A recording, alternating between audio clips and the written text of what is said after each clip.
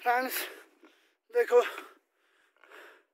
तकरीबन आधा घंटा, एक घंटे की मशक्क़त के बाद हम अपने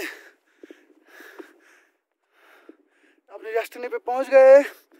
दोस्तों, इसको नंदन सर बोलते हैं। ये दो पहाड़ियों के दरमियान मतलब पीर गली से तकरीबन सात किलोमीटर, आठ किलोमीटर का पहाड़ी रास्ता क्रॉस करना पड़ता है दोस्तों। तब जाके यहाँ पहुँचते हैं दोस्तों। देखिए एक कुदरत का मतलब जैसे जैसे एक आँसू है, एक आँख है, उसमें आँसू छलक रहे हैं। दोस्तों देखो, अभी मुझे शायरी करने का मूड आ रहा है। मैं तो शायर बन गया। अब मुझे नहीं पता, जब आप ये वीडियो देखोगे तो आप क्या बनोगे?